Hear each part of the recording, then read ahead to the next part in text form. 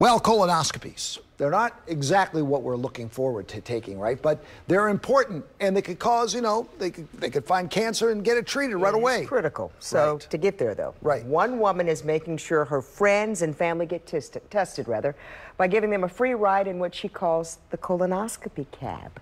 WMAR2 News' Megan Knight has a story. It'll be fine. It'll be just fine. Feeling fine is not usually how one feels before they're about to get a colonoscopy. But Nancy Amato will do everything she can to make sure it's not a pain in your behind. Here we go.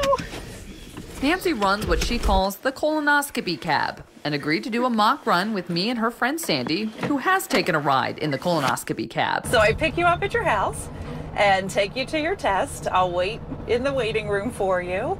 And then um, once you're ready to go, then we stop and we either have breakfast or lunch, depending on what time of the day it is and what you feel like eating. This idea came while Nancy was getting chemo treatment for colon cancer nine years ago.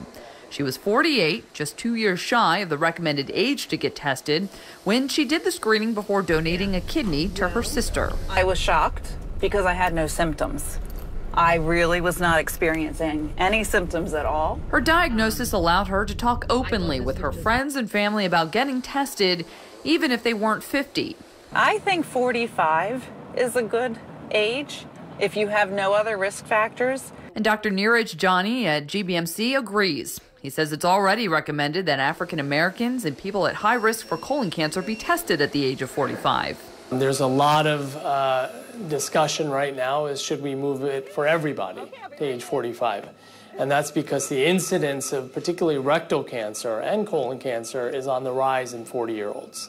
Dr. Johnny says people don't usually have symptoms until the cancer is advanced, but there are some warning signs. The things that we look for, uh, particularly, are change in bowel habits um, from the norm, uh, change in weight, uh, ble- blood in the stool, uh, you know, decreased frequency of stool, abdominal pain, decreased appetite. Nancy says she's made the ride to and from GBMC dozens of times to drop off friends and family for their colonoscopies, and she'll gladly do it for dozens more. Perfect. Oh, wow.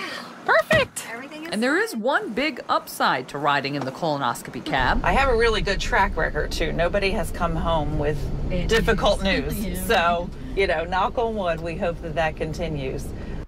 And if you're still a little leery about getting a colonoscopy, Dr. Johnny says those at-home colonoscopy kits actually do have a pretty good detection rate. The only drawback is they can also produce sometimes a false positive result. So it's always a good idea to talk to your doctor before and after doing any kind of test.